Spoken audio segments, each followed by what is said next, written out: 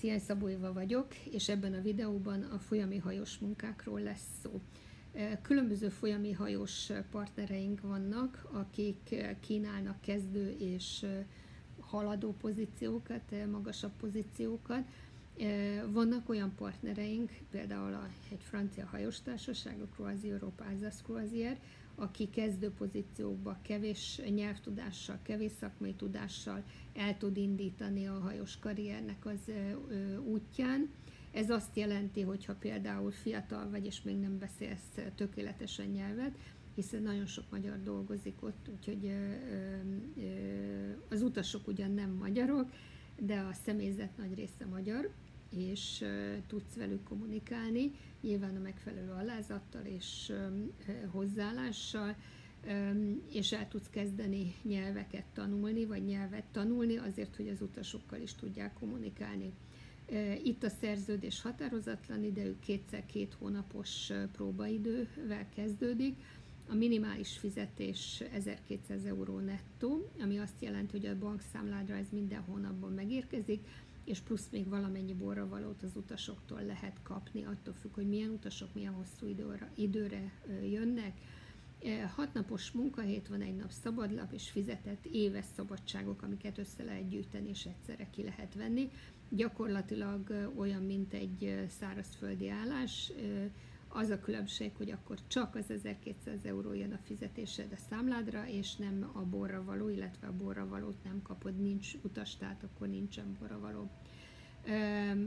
Kiutazási költséget kell fezel, illetve megelőlegezni, ami változó lehet, attól függ, hogy Európának melyik részére utazol, de hogyha Magyarországon belül kell beszállni a hajóra, akkor ez minimális költséget jelenthet, amit természetesen a munkáltató visszatérít majd háromszori ellátást, két-három ágyas szobákban való alási, alvási lehetőséget ad a munkáltató, és munkaruhát is, és a munkaruha tisztítás, mosatás is a hajón megoldott, amiért nem kell fizetned.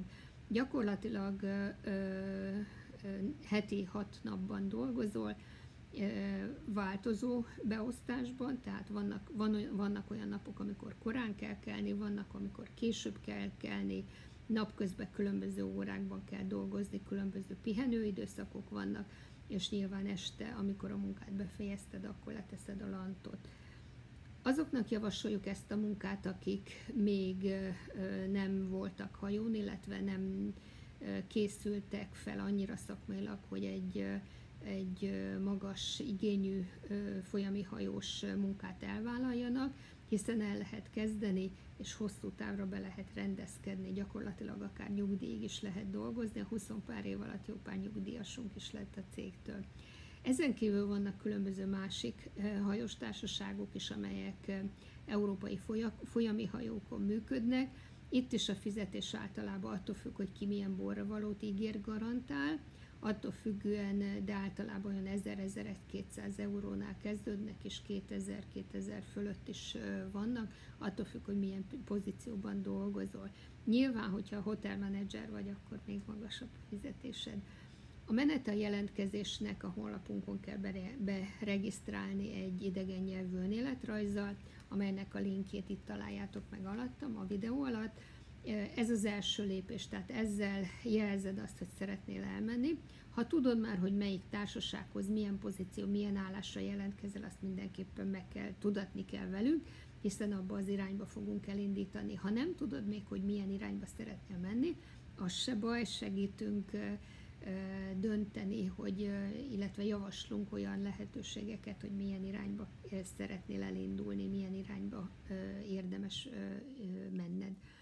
Hát azt kell még tudni, hogy tehát gyakorlatilag vannak határozatlan idejű szerződéseink, és vannak határozott szezonális szerződéseink, amelyek nyilván meghosszabbíthatóak, illetve a szezon után, ami általában olyan november-december környékén ér véget, az ünnepek alatt azért dolgozni kell, hiszen karácsony és a karácsonyi vásárok az Európai Folyami Hajós Társaságok életében az egyik nagy szezon ismételten, tehát akkor dolgozni kell.